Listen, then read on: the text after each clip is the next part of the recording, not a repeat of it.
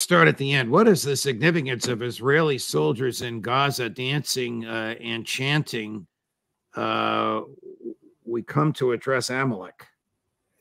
Well, uh, there is a, uh, a, a very important uh, subtext to all of this, which is uh, the use of biblical symbology and biblical and religious beliefs that are part of Israel's rhetoric and core to Israel's politics.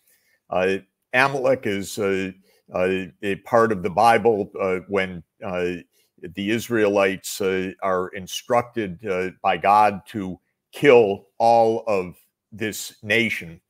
And it is one of many genocides, in fact, uh, in, uh, in the Old Testament.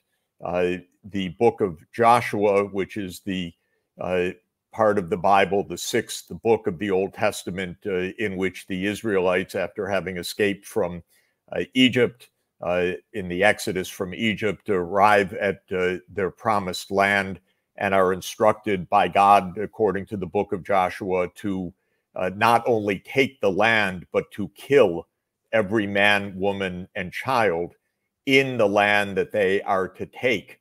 And uh, it's very clear uh, repeatedly from one nation to the next in the book of Joshua that this is to be a genocide, that no one shall survive.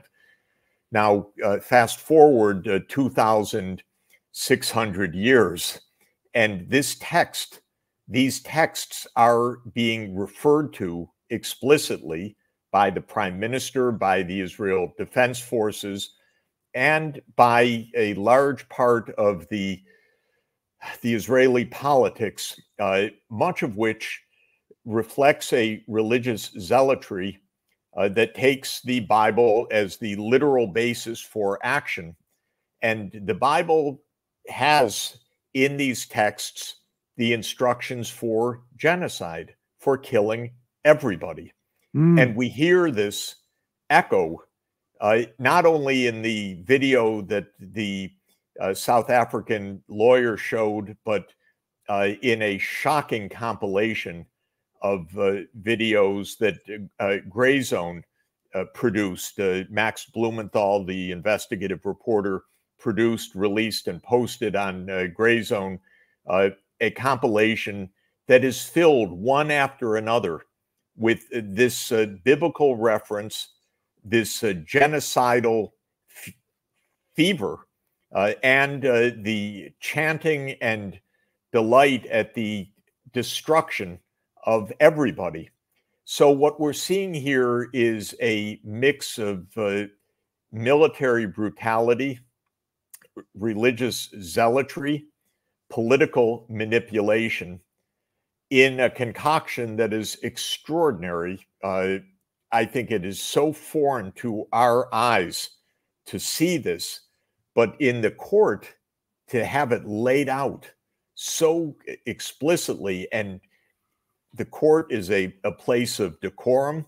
Uh, you saw the lawyer, how uh, dignified and eloquent he was. I listened to much of his presentation earlier in the day, and the room was silent, listening, having to absorb this direct evidence, not having the ever present and for me, utterly disgusting spin from the White House newsroom or uh, some other spin, but actually listening to the realities, grim realities laid out one by one.